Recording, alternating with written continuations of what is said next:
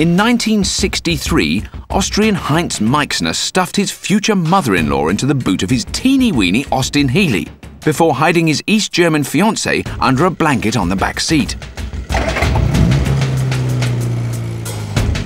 Right under the noses of the unsuspecting border guards of Checkpoint Charlie, Meixner ripped off the windscreen and, courtesy of his limbo car, was off under the barrier to freedom in West Berlin.